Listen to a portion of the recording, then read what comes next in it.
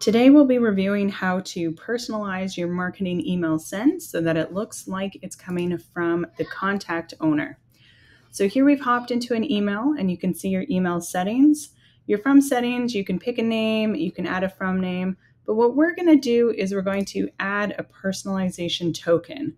So we are going to select a contact record property and it's going to be the contact owner. Now this is going to come from the contact. So we can say first name, last name, or full name. We're going to have this come from the full name.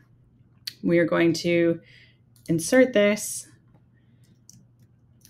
Our default value is going to be the brand name, just in case somebody doesn't have a contact owner. So now the from name is going to come from their contact owner or from us if they don't have one. And the from address let's do the same thing. So instead of just having it come from our marketing email, we're going to have it come from our contact owner's email.